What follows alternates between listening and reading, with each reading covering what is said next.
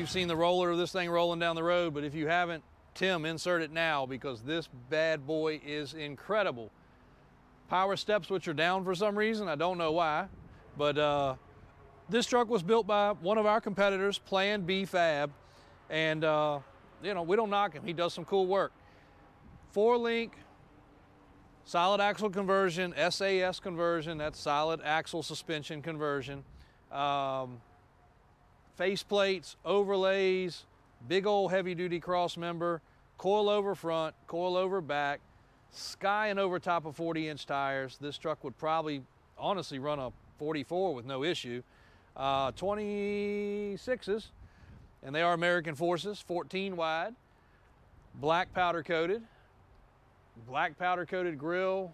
And the theme of this whole truck is brass knuckles. So I know I've brought you guys one video on it before, but um, don't know what the simulance of that was, but all the face plates are brass knuckle, all the intricate little pieces are brass knuckle from the front to the back, even down to the cross member supports on the axles.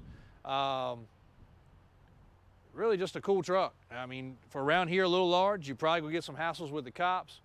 Dark tinted windows, the height definitely over the bumper limits for Virginia. If you're in Texas, Florida, Carolina, you can probably rock it. And again, if it was mine, I'd have some 44s bolted on that bad boy. You're talking probably 18 to 20 inches of lift, Fox coilovers, matching steering stabilizers, track bar brackets front and back, sway bars. It didn't cut any corners on this build, so I, we know what this costs to do. We do them all the time, so we know the person that built this truck, and I believe he was out of Carolina. I think I've had a couple people mention, um, but he did a great job, and the guys building it did a great job. We can't knock it. We've been over it. We adjusted, torque tightened, and the other beautiful part is it's not Bluetooth. As everybody knows, we don't do Bluetooth around here. A lot of other shops do. We like this guy because he does not Bluetooth his trucks either, meaning it really has a drive shaft, kind of a play on words.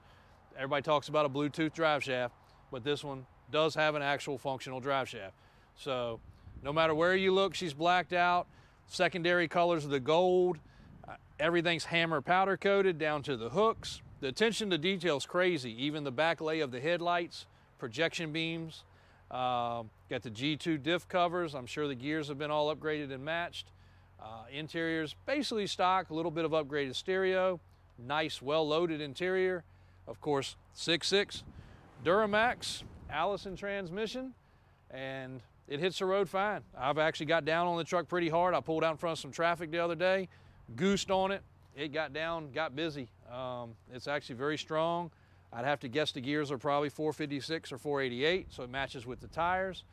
Um, I believe the truck's probably tuned. Like I said, it gets busy, and it's gonna make somebody a great truck. You probably, in today's day and time, could not build the undercarriage components and buy the tires and wheels for what I'm selling this truck for. So you're basically getting a free, very decent mileage, clean Duramax truck for what just suspension, tires, wheels, steering, power steps, and would all that stuff done, finished, would cost you. And the beauty is you can buy it today. You don't have to drop it off at our shop, his shop, or another shop and wait the realistic four to six months that it's going to take just to get in line and get the truck done. So one cool truck, very overlooked. We normally don't have it out on a lot because everybody wants to climb all over it and step in the wheels. So if you don't see it out and about on the dealership grounds, it's either at my house or it's tucked away in one of our warehouses. But don't sleep on that Duramax. That is one clean, well put together truck. And as you can see, rolling down the road, nothing has a stance like that bad boy.